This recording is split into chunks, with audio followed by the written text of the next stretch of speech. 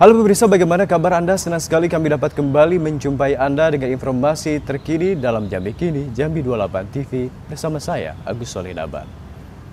Tim Rangkayu Hitam Satreskrim Polresta Jambi Selasa dini hari berhasil menangkap satu dari dua orang pelaku perampokan nasabah bank yang berhasil di kawasan Palmera, Kota Jambi pada Jumat sore lalu.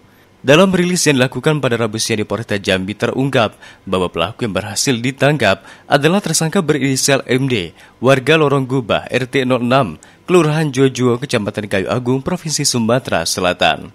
Pelaku ditangkap di rumahnya pada Selasa dini hari sekitar pukul 3.30 waktu Indonesia Barat.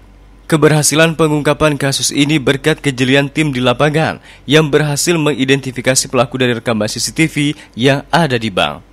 Dalam rekaman CCTV itu terlihat bahwa pelaku MD yang saat itu mengenakan baju berwarna merah berperan sebagai penggambar situasi di dalam bank. Pelaku sengaja mencari korban yang terlihat menarik uang dalam jumlah banyak dan menggunakan tas. Usai menemukan korban, pelaku kemudian memberi tanda kepada rekannya yang menunggu di luar bank dengan menjatuhkan kunci motor dan membisikkan ciri korban. Dalam aksinya Jumat lalu pelaku berhasil menggasak uang nasabah yang sudah ditandainya sebesar 465 juta rupiah saat korban dan suaminya berhenti membeli buah usai keluar dari bank.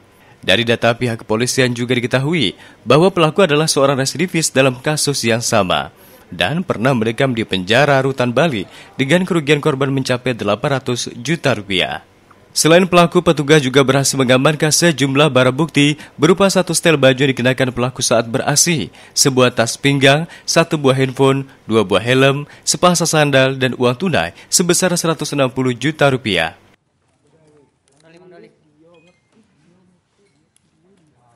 Pelapor ini bersama suaminya pulang dari Bank BRI, Bank BRI cabang Jambi. Kemudian berhenti di depan toko buah dengan maksud membeli buah-buahan.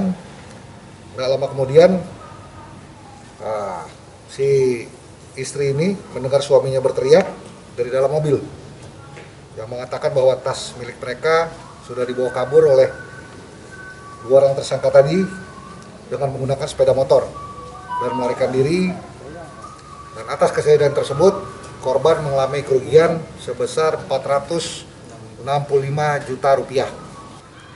Yang bersangkutan berperan sebagai orang yang mengambil tas milik korban yang berisi uang sebesar 465 juta. Atas perbuatannya pelaku bakal dijerat dengan pasal 363 KUHP tentang pencurian dengan pemberatan dengan ancaman hukuman kurungan penjara hingga 7 tahun penjara. Dari Jambi, Tim Liputan, Jambi 28 TV. Pemirsa terus perbaharui informasi Anda dengan mengupdate berita-berita kami di Jambi28.tv. Saya Agus Sorinaba. Sampai jumpa.